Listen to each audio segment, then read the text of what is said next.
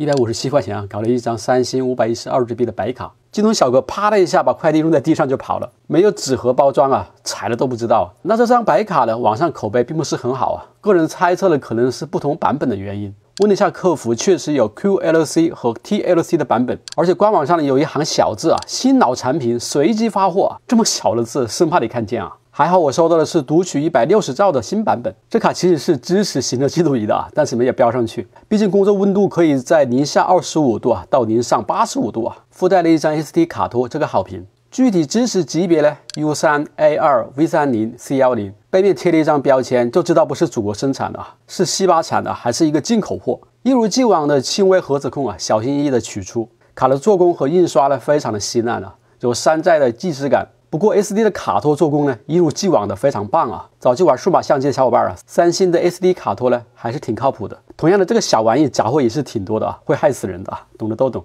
还是用祖传的 USB 三的读卡器连接，电脑出现了盘符，显示可用空间是四百七十七 GB。用祖传的1.074的公式算了算呢，计算容量是四百七十六点七 GB 啊，其实差不多。默认文件系统是 EXE-FAT，买来就是作为 Switch 的游戏仓库啊，都不用格式化，正好合适。然后旧的 128GB 的存储卡转到新的卡呢，也是特别容易的啊，不用分区，不用重装系统，也不用重装游戏啊，存档都可以保留的，很简单啊，把旧卡全部的数据呢复制到新卡里面，然后删除几个文件就可以了。接着就迫不及待往卡里面装了一堆的游戏啊，反正便宜啊，五百一十二 GB，十年上门呐，随便换，随便玩，而且也就一百五十多块钱啊，哪里找？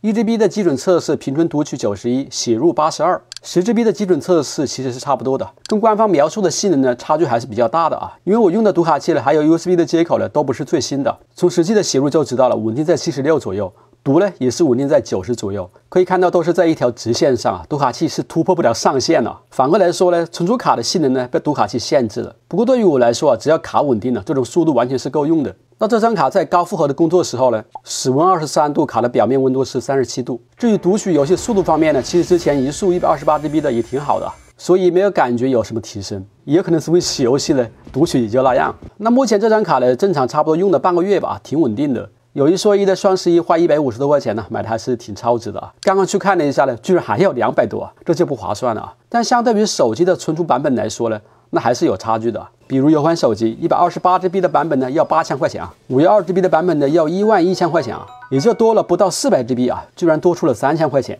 那我的这张存储卡呢，五百一十二 GB 的也就一百多啊，同样的容量啊，三千对比一百多啊，情何以堪？